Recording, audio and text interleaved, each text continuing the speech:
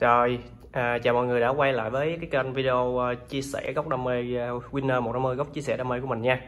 Thì hồi nãy uh, clip trước á, là mình có giới thiệu là sử dụng cái uh, uh, một cái lon để bảo vệ cái uh, lọc trụ của mình khi mà mình đi rửa xe. Thì hồi nãy do trời mưa quá mình chưa kịp mà nói chi tiết thì mình chạy về nhà rồi.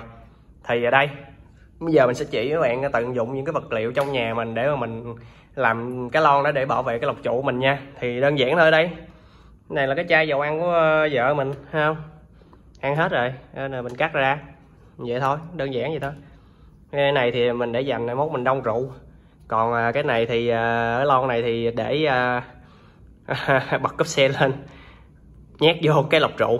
Không? Đó nhét vô. Nhét vô cái lọc trụ thì lúc mà cái lọc trụ thì mấy bạn lựa cái lon nào mà nó nó nó tầm vừa cái lọc trụ hoặc bự hơn chút xíu cũng được không sao hết. Nhỏ hơn thì không được nhưng mà to hơn là được. Đó thì như chai dầu ăn này chẳng hạn. Đó thì mình ờ, nhắm cái lọc trụ nó nó dài khoảng bao bao đây thôi bạn. Nó tầm khoảng ờ, nó như đây thôi tới đây đi. Thì nó còn dư được một đoạn nhỏ này thì ờ, uh, các bạn đúc vô.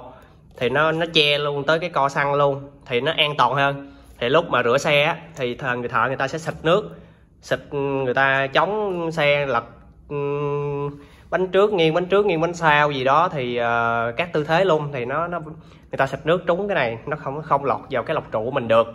Thì như vậy á khi mấy bạn ờ, uh, sạch xe xong thì mấy bạn tháo ra thôi. Rồi mấy bạn uh, bỏ vô cái uh, bọc mang về hoặc là mấy bạn tận dụng trong cái cốp xe của mình đó nó có khi mà mình tháo cái lọc zin ra rồi á thì uh, nó vẫn uh, còn cái khoảng không gian mấy bạn có thể cột thêm cái cọng dây rồi cái bạn uh, treo nó ở trong đó cũng được treo cái lon này trong đó cũng được. Thì mai mốt để mình làm xong mình bạn à, mình hướng dẫn các bạn treo trong đó luôn. Tại mình có cái cốp gv ở phía trước nên mình để hay để phía trước lắm. Đó tại vì những lần trước mình đi rửa xe xe mình sử dụng lọc trụ Canon và mỗi lần rửa xe xong là xe mình chết máy. Mà đem cái à, vòi sạch khí nén sạch nào là ECU sạch uh, lọc lại và phải xịt gió trực tiếp vào cái lọc gió rồi đề máy liên tục khoảng 5-10 phút gì đó máy mới nổ nên là đối với mình là cái ừ, giống như cực cực, cực hình khi mà đi rửa xe vậy đó. mặc dù rất là cân xe mình đó thì đó cái cách của mình hướng dẫn các bạn chỉ đơn giản thôi. Chả tốn gì hết đó. Còn không thì các bạn có thể đi ra ngoài các bạn kiếm cái lon nào mà nó to vậy đó như vậy nè.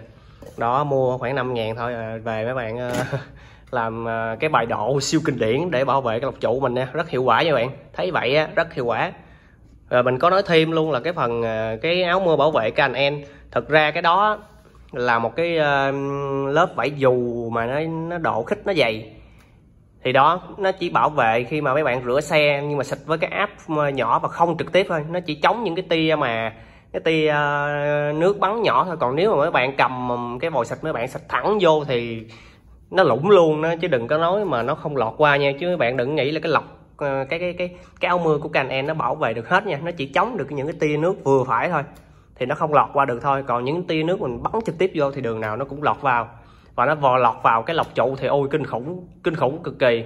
Đối với những chiếc xe độ sử dụng uh, cái uh, lọc cái cái cái lọc gió trụ này thì ôi nhức đầu lắm. Nó dính nước một cái là coi như tiêu. Nè ha khởi động máy cực kỳ khổ luôn.